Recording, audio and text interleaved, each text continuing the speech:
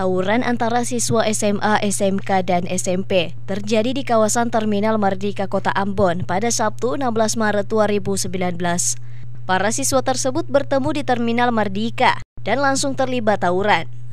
Siswa SMU berbeda sekolah ini terlibat kejar-kejaran dan saling pukul di luar terminal sehingga membuat warga dan pedagang panik. Keributan antar pelajar ini juga sempat mengganggu aktivitas di Terminal Mardika. Diduga tawuran terjadi akibat saling ejek di antara siswa berbeda sekolah. Akibat tawuran ini, sejumlah siswa mengalami luka dan memar di bagian wajah. Tawuran baru reda setelah warga membubarkan aksi tawuran siswa tersebut. Hari begini juga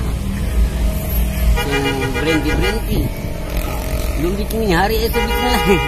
Dari Ambon, Lutfi Helut Ambon Express melaporkan.